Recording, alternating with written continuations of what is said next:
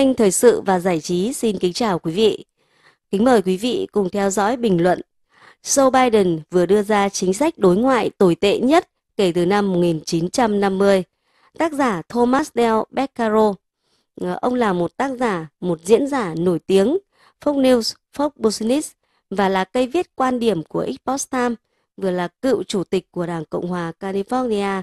Kính mời quý vị cùng theo dõi nội dung.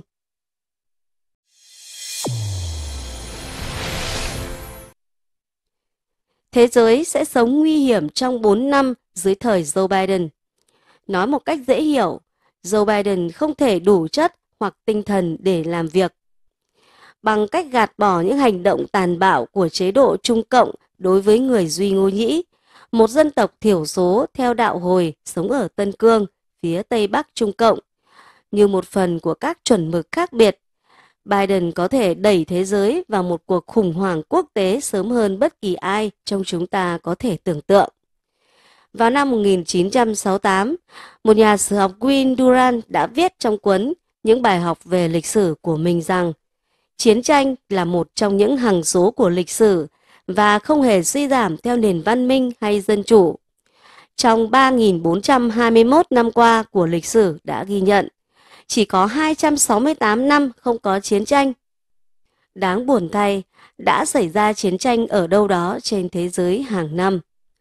Bất kể người Mỹ sống như thế nào, vẫn đúng rằng trong mọi thời đại đều có những chế độ man dợ hoặc tìm cách thống trị người dân của họ và thường xuyên là các khu vực xung quanh họ nếu không muốn nói là nhiều hơn. Trung Cộng là một trong những quốc gia như vậy Trung Cộng là một trong những quốc gia như vậy. Gần đây, tờ báo New York Post đưa tin rằng Bộ Ngoại giao Mỹ cho biết họ vô cùng lo lắng trước một báo cáo tuyên bố những người phụ nữ Hồi giáo bị giam trong các trại cải tạo ở Trung Cộng, giam giữ hàng triệu người Duy Ngô Nhĩ đang bị hãm hiếp, lạm dục tình dục và tra tấn một cách có hệ thống. Mặc dù không phải là hành vi tàn bạo có đều có thể được Hoa Kỳ khắc phục, nhưng không một hành vi nào trong số chúng ta nêu trên được dùng thứ. Tất cả chúng phải được đáp ứng bằng những tuyên bố từ Tổng tư lệnh Donald Trump của chúng tôi rằng nước Mỹ khao khát tự do cho tất cả mọi người và không có hành động tàn bạo như thế có thể biện minh hay là dung thứ. Ngoài ra, Hoa Kỳ nên sử dụng các biện pháp ngoại giao và trừng phạt kinh tế ở mức tối thiểu để đối đầu với những hành động tàn bạo sự can thiệp quân sự, trong khi đó là phương án cuối cùng, không bao giờ nên bỏ qua.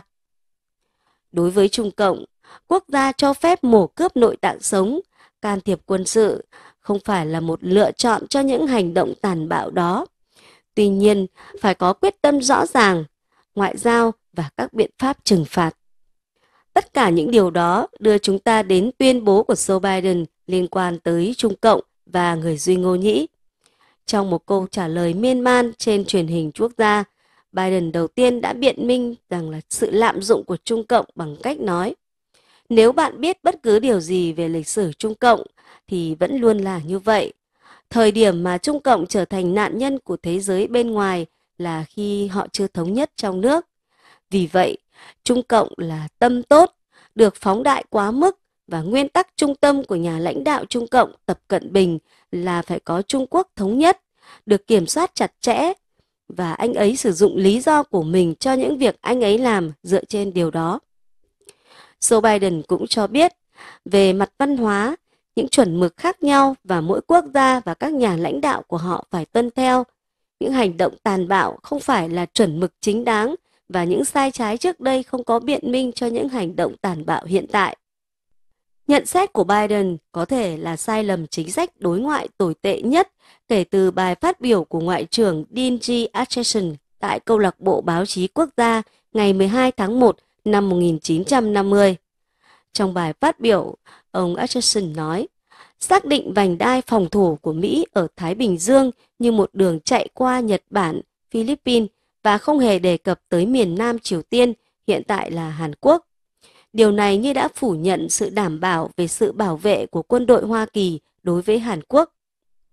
Không lâu sau, thế giới chìm vào chiến tranh Triều Tiên sau khi Bắc Triều Tiên xâm lược Hàn Quốc vào tháng 6 năm 1950.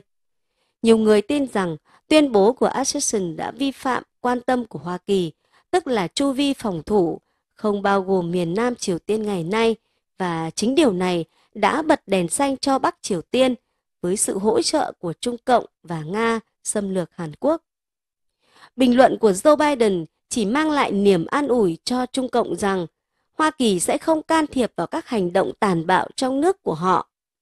Những lời lẽ tương tự sẽ mang lại sự an ủi cho Iran, Nga và mọi nhà độc tài trên toàn thế giới. Bất kể Hoa Kỳ đưa ra các tuyên bố làm rõ trong những ngày và tuần tới hay không. Chỉ có Chúa mới biết họ sẽ làm gì khi được Biden bật đèn xanh. Mặt khác, thế giới giờ đã biết Joe Biden yếu đuối như thế nào. Một bài học lịch sử là tất cả các cuộc chiến tranh đều được bắt đầu dựa trên điểm yếu của kẻ thù. Và đó là lý do tại sao mà thế giới sẽ sống đầy nguy hiểm dưới thời Joe Biden. Kính thưa quý vị, vừa rồi là nội dung bình luận Joe Biden vừa đưa ra chính sách đối ngoại tồi tệ nhất kể từ năm 1950. Tác giả Thomas Del Baccaro, ông là cựu chủ tịch của Đảng Cộng hòa California. Đến đây là kết thúc. Xin trân trọng cảm ơn quý vị đã theo dõi. Xin kính chào tạm biệt và hẹn gặp lại quý vị ở những nội dung sau.